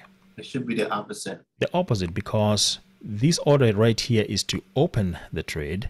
So to close it, we need the opposite order, right? Mm-hmm. So I'm just going to right click on these, create opposite order. And notice this time instead of buying, we're now selling. And we have to now adjust this price. How much do we want to sell it for is the question. Right? What price should we sell it? What do you think?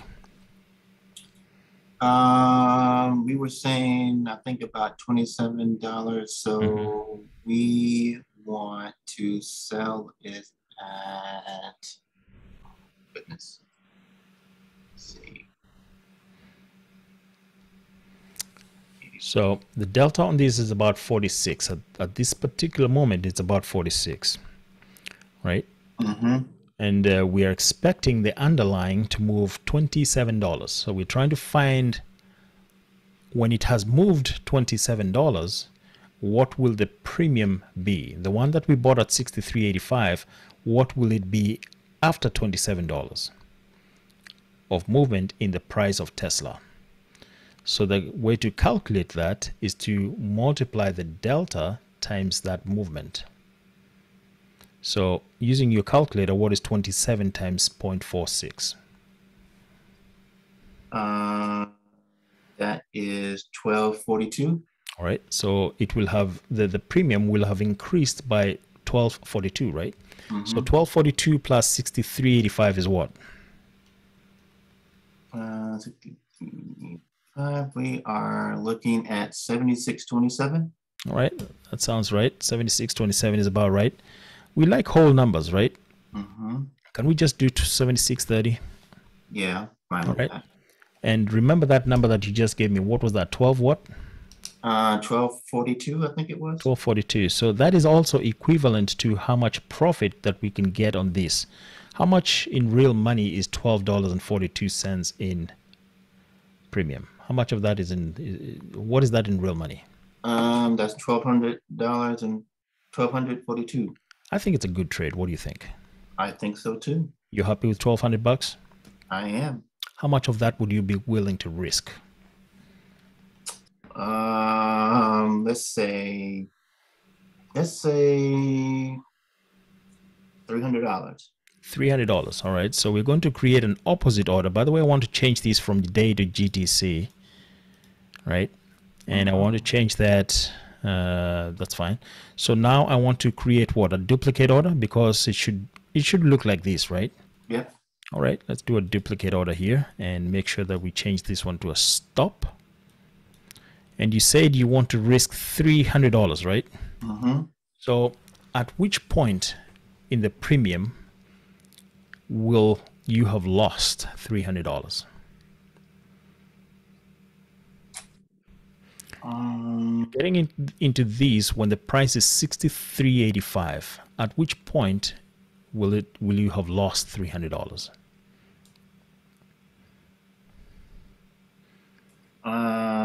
Um, Let, let, let me help you out here. So price is 63.85. Price is price is now 62.85. Have you gained or have you lost? you said prices. Say that again. All right, current price is 63.85. We just clicked buy and, and we got filled. Mm-hmm. Time has moved. The Mhm. price is now 62.85. Mm-hmm. Have you gained or have you lost? We have gained because Yep, we yep. are expecting price to go down. Uh, which price is going down? Is it the price of the premium that we paid or is it the price of Tesla? The price of Tesla. So Tesla has increased in value in order for this to go down, right? So if 63.85 goes down by $1, what's happening? We're losing. We're losing, right? mhm. Right? So at 62.85 the we've lost $100.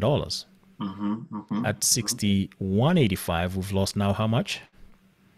Um, lost two hundred dollars. $200. So at 60.85 we will have lost $300. Mm-hmm. So that is the number that we put in here, right? Mm-hmm. in order for that to happen, what happened to the price of Tesla? Did Tesla increase in price or did it decrease in price? The Tesla price decreased, Hmm. right? No, let's think about that again. You mean this? You're talking about the stock or the the premium? Yeah, the stock. Yeah, what the the price of Tesla, the 720, did that go up or did that go down? If if the price of the premium is now 60, did that uh, Tesla go up or did it go down? It went up instead of down, right? I'm lost now. Yeah. So let me explain it. Our thesis for this particular trade, we are saying that we think price of Tesla is going to decrease from 720 and it is going to go towards 675. Mm-hmm. For as long as that is true and that is happening, we will make money and we will continue to make money. But if Tesla instead increases in price, our thesis is no longer correct and we will start losing money. Uh-huh. You with me on that? Mm-hmm. The premium itself, the relationship between the premium and the price of the underlying depends on the strategy. In a call, I think what you're used to is that when the price of the underlying is increasing, your call is also increasing. That's that's uh, the value of your call is increasing. That's natural. That's kind of standard, right? Mm-hmm.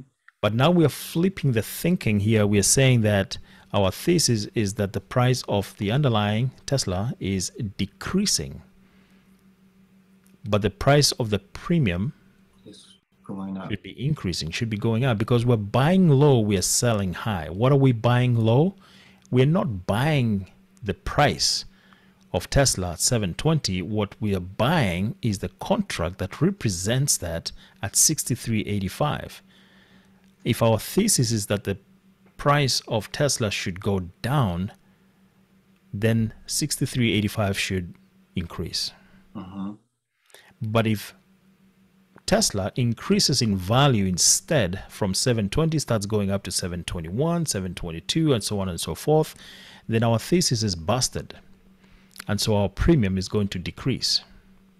Okay. Mm-hmm. That is why we have to understand the relationship. Remember in my slide what we said here. Let me see whether I can uh, find that.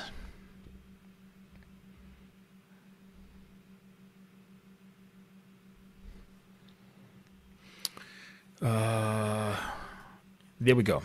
So remember when we talked uh, earlier on, we stressed understand the relationship between the price of the underlying and the cost of an options contract. You remember that? That bullet, very important to understand. A lot of people understand the calls, they don't understand the puts. We just demonstrated that. So important uh, to go over that. So here's here's here's how the deal works. If we buy this for 63.85, our thesis is that it will continue to increase. If it does not, then we need to protect ourselves on the downside. How low can we go? And if we go as low as 60.85, we will have lost the $300 risk that you talked about. Is that about right? Mm-hmm, mm-hmm. All right, so that would be your bracket order. So let's assume, uh, well, first, do you have any questions on that? Do you want, does anybody have questions on that? Is that concept clear on the puts? Uh, I have a quick question about Sure. um, the entry for the price. Mhm. We can put it in a different way as well, right? Uh, yeah, there's plenty of ways. Okay, I just, okay, gotcha. Yeah, be- because we we did say that there are several ways, and we're going to go through them one at a time just to see which one is the simplest to do. Okay, Right. I was thinking for the stop, you could put in um three dollars. He I could mean, put in negative three dollars. Yes. Okay, and it has to be negative. Okay, Mm-hmm. It Okay. would have to be negative three dollars. okay, Yeah. So this is the manual way. We are we are saying that if the price, which price are we talking about? The premium, sixty three eighty five. If that one decreases, we're losing money. Right? We're losing money. And so since we bought it at sixty three eighty five, if it is now valued at sixty point eight five, we have lost three dollars in premium. So three dollars in premium is equivalent to three hundred dollars in real money. So Aaron, you there? You with me so far? Yes. All right, cool. And then we understood how to calculate the exit, the target exit. Mm-hmm. Was that was that clear enough? Yep. All right. Uh, a lot of math over here, but this will get us where we want to be. And then all we have to do now is just hit confirm and send. So that was a special case, right? I'm just going to, I'm not going to confirm and send. This is my simulated, but I, I'm not going to trade this. Uh, we demonstrated how you can, you can do that. Uh, by doing the calculations, by understanding that this is how you do it, this is what you look at, this is how you pick your strike, and this is how you go, right? So that's one way. I'm going to delete this and do it another way. The other way is to right click on that ask column. I'm, I'm right clicking on the price itself and I'm going to buy custom with OCO bracket. I achieve the same results except that I have to change these numbers a little bit. Do you see that? By default, Thinkorswim will give me $1 profit and protect me on the downside by $1. Do you see that? 63.85 giving me $1, so $100 and protecting me on the downside by $100. So I, I always need to go in and do a an adjustment here and say that what was that number 7630 something like that Yes. And down over here 60.85 hmm. right? So hmm. we did the same thing only we did it a little bit faster. Right? Now let's let's automate this. We want we don't want to do this all the time. You know calculating this just hurts my head. Right? Especially at 9:30 in the morning when i'm trying to think. You know 9.30 in the morning uh, that's a difficult time to think. Aaron maybe you have a great trading plan and you have decided you know what? Anytime that i see that i have got $15 in movement i'm going to go for $10 Mhm. of that movement. Uh, aaron what do you know about delta? I just know that every time it moves, uh, you, if the, every time the stock moves in one dollar, you get that delta. the uh, amount of delta right Right. mhm, and delta can go from zero to what To a hundred. Zero to a 100 or zero to one, right? Zero to one. mhm. So right in the middle is what? 50. It's 50. And you know that from uh, what we've always preached, we've always said we always go for the middle, at the money. hmm So delta 50 is at the money, right? Can we safely assume that delta at the money is 50, give or take? Um, sometimes it ranges between like maybe like a you know 50 to maybe like 48 or something like that. Okay, so give or take is correct. Mhm. So we can use 50, delta 50 for most calculations. Is that right? hmm All right, that's what I'm trying to get to. So let's go back here now to your trading plan. You've decided that you're going to only trade things that or stocks that trade that, that, that have a potential movement of about say $15, dollars 15 $16. And so you can safely harvest 10 of those dollars. Right? Say that say the stock moves $17. What is 60% of 17? Uh, let's see. 17 times 0.6.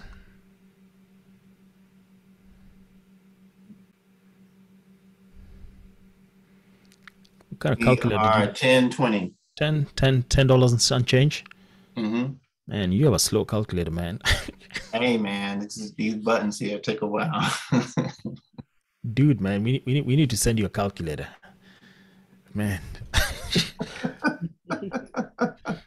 took, took you that long? are cheap. All right, all right, all right. We wouldn't beat you up too much. So we've we've uh, kind of figured out that uh, if a stock is moving seventeen dollars and greater, then you have about ten points, right? hmm Uh, we also evaluated a minute ago that delta at the money is fifty. hmm If the stock moves ten dollars and you buy at the money, how much do you think you're going to make in premium? The that moves ten dollars. Mm-hmm. And we're going to buy it at the money, assuming that at the money delta is fifty. Mm-hmm. Uh, five point one. Uh, let's just use whole numbers. Use ten. Um, it'll be five. Five, right? hmm So the next time we look at a stock and we see, oh my goodness, this thing's, uh, you know, kind of moving around, you know, potential to move 15, 20 points. Can we just say whatever price we get into, we're just going to need about $5 and we think we can get it fairly easily, hmm right? Yeah. All right, that's what I am trying to get to. So here's the deal I am going to create a template that gives me $5 every time. Hmm. Yeah. I'm going to create a, a template that gives me $5 every time. That's all I'm interested in. I know it can move more, but I just want $5. $5, by the way, in premium is how much in real money? That's five hundred dollars. What can you do with 500 bucks? I don't know. Um, maybe go buy something I want. I don't know. Yeah, yeah, exactly. You, you, you know, you can go have a haircut. Yeah, that's what pretty Yeah, much you know. haircuts cost these days now. Yeah. Yeah. You know, you, you can go, you can go do something. Yeah. Uh, I know the ladies can probably go get their nails done. Actually, I don't. I've never understood that that that concept of getting. uh, Anyway, I'm not gonna go there. not gonna go there. Uh, so what if I break this chain? Watch me what I'm doing, right? So I'm going to break this chain and notice. Well, first let me do this again. I'm going to do it in slow motion, as as slow as I can get as I can do it. So Aaron, watch what I'm doing. I am going to break this chain. Do you see this? Uh, do you do you see my mouse? By the way. Yes, I do. I'm going to click one time on this bad boy. And what happened over here? The word TRG appeared. Let me do that one more time. Right now it's blank, nothing else. Watch. The word TRG appeared. hmm TRG stands for trigger. And it says plus or minus and 1245 or 1240 something. Does that number look familiar? That's the number that we calculated for movement, right? Yes. What if I just want five dollars? What do I need these numbers to be? Um, when you put in um five dollars, just five dollars. All right, I'm gonna do exactly what you said, five point zero zero. Or you can put All right, Mhm. five. I'm gonna put five dollars here. What am I telling the system? I'm telling the system that when you fill my trade, just give me five bucks. I don't care how whether it goes to 20, just I just want five, right? I'm going to do the same thing with my stop loss and say I'm break this chain and if I am losing by three dollars, stop me out, Yeah. right? Mm-hmm. And because I don't want to do this every single time, first and foremost, I'm going to unlock these padlocks so that it is relative to the current price of the underlying, the premium of the underlying contract. Okay. Here's now where the magic happens. Uh, do you see my delete button over here? Yep. To the left of it, there is uh, something that looks like a floppy disk. Aaron, you probably know what a floppy disk is. I do. Let me see over here. Uh, who, where are the kids? Maureen does not know what a floppy disk is. She's too young. Uh, let's see. Yeah, floppy disk used to be that thing that we saved files. Yes. Took a while to save too. uh, files. Uh, yeah, yeah, yeah, yeah. I know all about it. Lynn doesn't know what a floppy disk is. Yeah. Yes, I do. I used to have one. Oh, yeah. My best advice in col- my best advice in college was uh, to give you a ziploc and uh, watch your homework disappear. Ay, ay, ay. All right, so we're gonna push uh, on this thing, and it says save custom order template. You see that? Mm-hmm. Just gonna blank out everything, and I'm going to call this one the Aaron. Right? Uh-huh. the Aaron is going to be uh, one limit. Take five. Risk three. What do you think of that name? I think that works. This is a bad A name, right? this is the Aaron. I'm gonna save that. Uh, I'm gonna delete this order and go try it on something else. Let's say we've decided that you know what, this thing is actually going to go up, not down. We still want five dollars, right? How do we use that template we just created? I'm simply going to go over to the call side on the ask column and take the first one in the money. I'm going to right click, buy custom, buy custom over there. I am going to choose the Aaron. Look at that. Is that good or is that good? That was a big gem. That was a big gem. Let's go to let's go to SPX. Can we do that on SPX? Right. I'm going to try this on SPX. I'm going to go to 18 July. Things are moving so fast. I'm just going to buy a put over here, buy custom. I'm going to choose the Aaron. Bada bing, bada boom. Price got filled in for me. I'm going to trigger, make $500 on that one trade. I'm going to risk $300. Aaron, I just dropped the mic. Did you see that? You did. You dropped the mic. Awesome, awesome, awesome, That was nice. awesome. Let me ask you this though. Now that you dropped the mic, Mhm. will this particular setup that we just created, will this only work for a options play, or could you Yeah. use that as a stock play as well? Uh, I don't know how to trade stocks.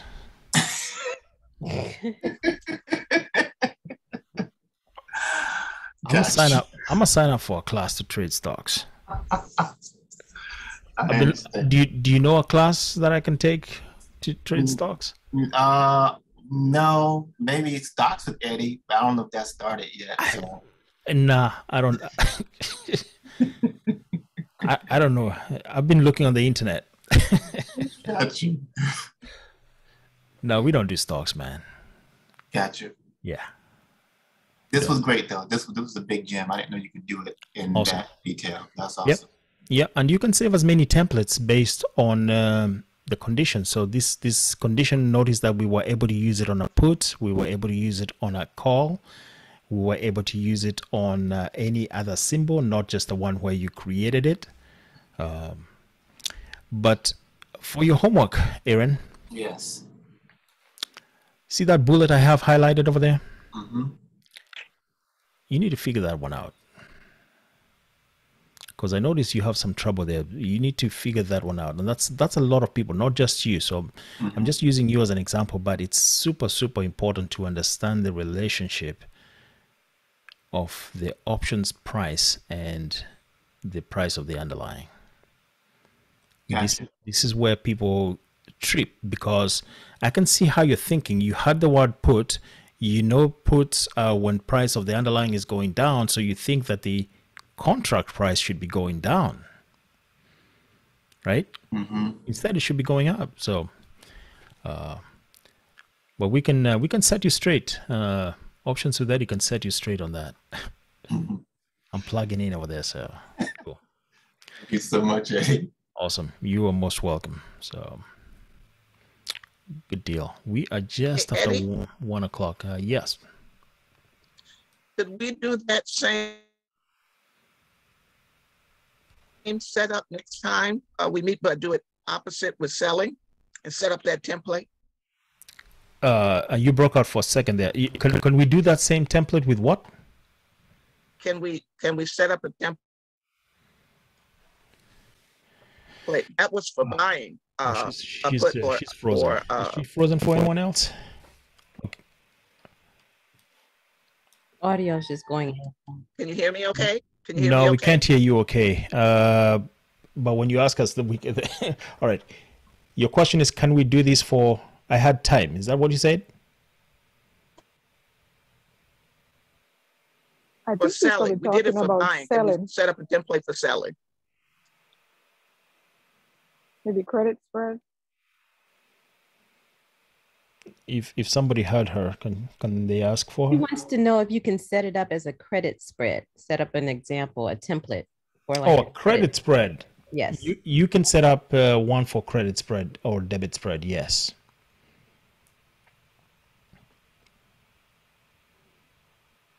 Okay. I- Yeah, but uh, it's a it's a little bit more. What I was asking is setting up that template, not just for buying, but for also for selling.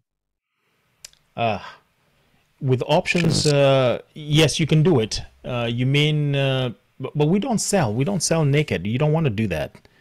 So, are you referring to selling options, or are you referring to selling stock, shorting?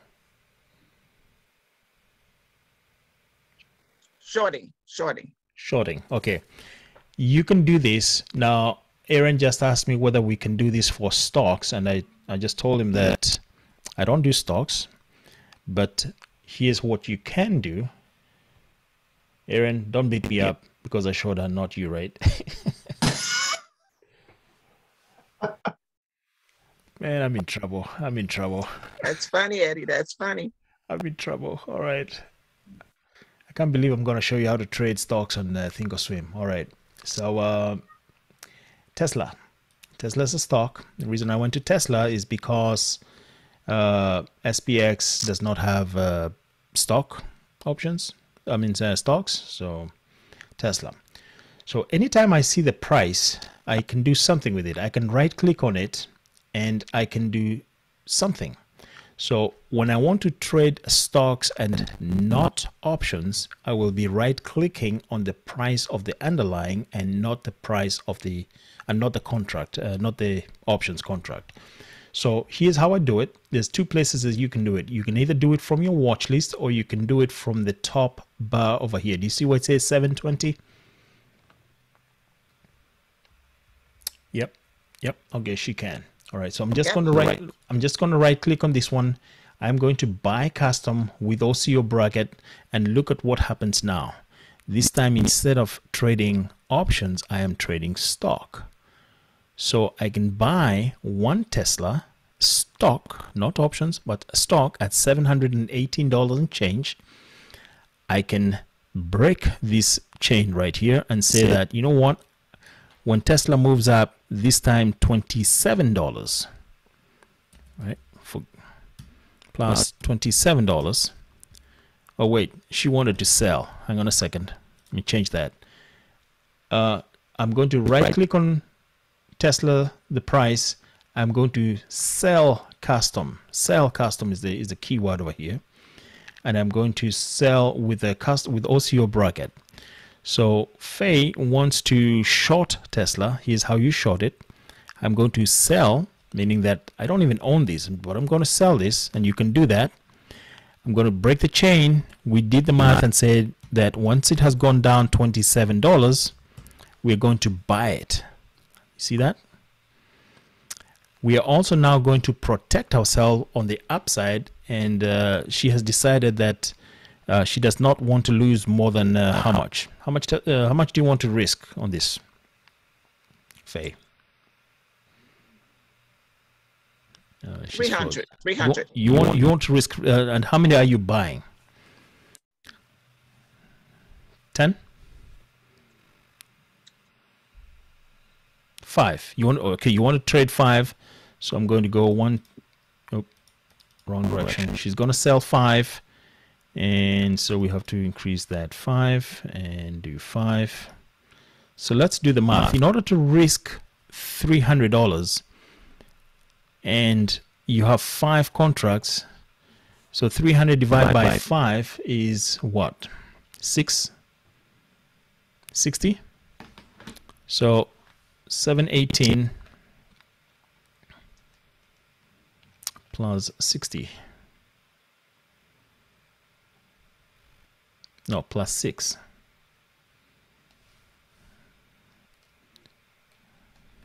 Seven hundred twenty-four. So if the price increases to seven hundred and twenty-four dollars,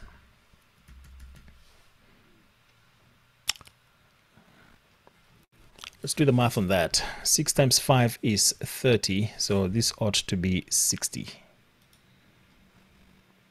That's bad. Uh, 27, 60. This math would not be good. I would not risk $300 in such a trade. Because if you're buying five and your potential and your potential profit is 27, right? 27 times 5, your potential profit is $135. So if you're risking $300, you're risking way more than what you could potentially get. You see the math on that? So I would probably risk maybe $10 per trade, which makes it $50. That's about a 1 to, well, 2 to 1. So if you were doing stock, and I don't teach stock, uh, this, is how I would do it, Faye. But why are you doing stock? Faye, you don't want to do this, do you? Don't do this. I just wanted to know the setup. Okay, well, there's your setup. There's your setup. Don't do this at home. Eddie, I'm, I'm very All right. risk averse. I wouldn't be doing that. Awesome, awesome, awesome. And we're gonna have to buy you a mic because we can't hear you. Oh, I think it could be your internet, maybe. Yeah, usually it's an internet problem, right? Yeah, usually it's when. I don't know what's happening. Don't, I don't Yeah, I don't know what's happening with my, yeah, we can't hear her very well. She's breaking out every 20 seconds. So, but uh, if you can hear me just fine, Faye, uh, this is uh, this is how you'd set up your stocks template. Uh, don't don't do this. We we don't like to trade stocks anymore. Uh, they move kind of slow. Even though you can make your money, you can make 120 something dollars, but you'd spend a whole lot of money. 718 times five, by my quick calculation here of uh, it, it's about 3590 $3,590 to make $100 is a bad way to invest. Don't do it. All right, don't do it. Cool. What other questions do we have? You're welcome. Uh, what other questions do we have before we before we call it a day? Is there a formula that you use for your um for your stop? Do I have a formula? I mean, it's just something to go by. I like because normally I know how much I want to lose, but it just seems like I don't know. I'm just kind of thinking, is there like a guide or I have a guide. Yes. I do have a guide that I have shared with my students in the trading plan. Uh, but I also have a big disclaimer that says that risk management is usually an individual consideration. right? right. It is ba- because it is based on your portfolio, it is based on your tolerance. Uh, but there are some general rules where I consider that if you're doing, if you're going to manage your, your risk in a certain way, it needs to be, it needs to support the thesis, right? And we just uh, we, we just witnessed that over here when when Faye asked us to risk three hundred dollars we immediately had to figure out well, if we're risking $300, well, how much are we getting? We need to be making a whole lot more than 300, right? Right, right. I'm trying to figure out because I don't want to just throw out arbitrary numbers. Like Exactly, right. So when we, with stocks, uh, since we're expecting this particular stock to give us $27 per trade, then you know in, in that in this particular example here we were getting about 27 times 5 because that's how many contracts the, um, how many shares so that's only $135 right it's $135 on 5 shares it's not reasonable to risk more than Then- you expect okay, what you're going to get okay, right? So relative to the risk, you always have to identify that I want to make five hundred dollars. Should I risk five hundred, or should I risk one hundred, or should I risk a thousand dollars? Always risk less, right? Your starting point should be no less than two to one. The preaching, or the most common, commonly uh, touted way, is a three to one. But you will find that in many cases you actually want greater than that. You want a four five to one uh, sometimes even you know six or seven to one. So cool. All right. Uh, looking over here uh, on my messages um, if you sent me a direct message please email me if you're still on the call and i will help you out um, Yep. Cool.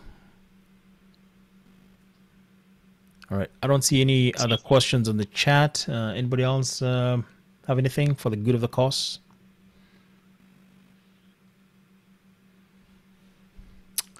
Hearing none, this was great. We're out. Thank you. All right. Have a good evening, everybody. Have a happy Saturday. Thanks, Eddie. You're most welcome. Thanks, Eddie. Awesome. Thank you. See you in two weeks. All right. See you in a couple weeks.